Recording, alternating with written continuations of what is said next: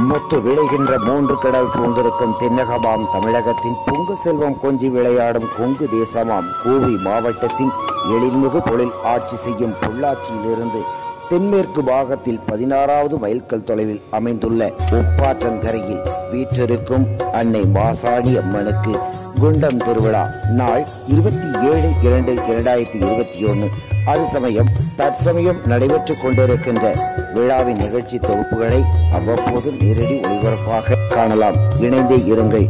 உடனே சப்ஸ்கிரைப் செய்து கொள்ளுங்கள்.